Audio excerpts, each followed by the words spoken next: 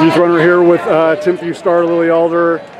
Obviously, you kind of live for the big moments, and, uh, but and obviously, uh, I know that you're capable of competing with uh, you know any athlete in the country, not just you know uh, your amazing teammate Jane Hedengren, but uh, but just how just how rewarding is an experience uh, like this because I don't think people uh, outside of your community in Utah just know you know what a special competitor you are. No, no, no, you had a chance to show the entire country tonight. How much does it mean?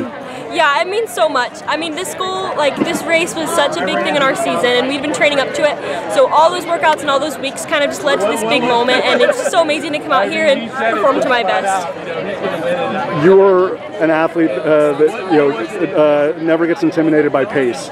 You knew it was obviously going to be, you know. Uh, like a, roller coaster ride oh, yeah. the, the, the, entire time, but, uh, but just how proud were you of just how composed you remained and just kind of like how you just trusted in you know in your training and just ran Lily Alder's race and you know, didn't worry about what you know Riley or Kiara or Sadie or Jane or anybody else is doing.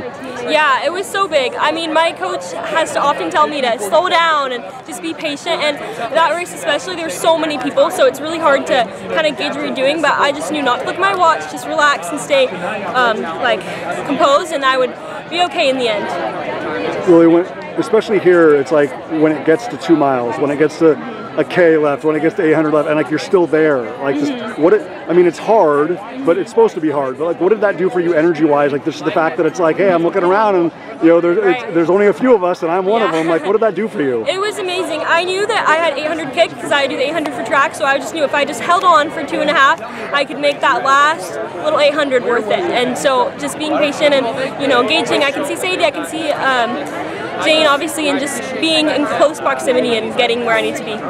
Last thing, I mean, it's only September 21st. Obviously, your season wasn't even getting rolling at this point last year. No. So, uh, so just you know, obviously, still eyes on you know late October for state, November 23rd for you know, regionals, you know, Lord willing, health providing December 7th yes. for, for nationals. But just how, how do you hope to be able to kind of take this and, and, and, and, apply it to that next stretch before you get ready for stage? Yeah, I definitely think doing more workouts um, and just working with my coach. Honestly, I like to go one race at a time. So, you know, on to the next race and, you know, just every single race getting better and better and learning a lot. And eventually, hopefully, we'll get to that December race and I can perform my best. Awesome. Well, if it's anything like tonight, can't wait to see what that's going to be like, whether it's at Sugar House, whether oh, it's yeah. at, in Arizona, whether yeah. it's uh, at Glendoveer. Uh, Lily Alder's going to be ready to go. Congratulations. Thank you.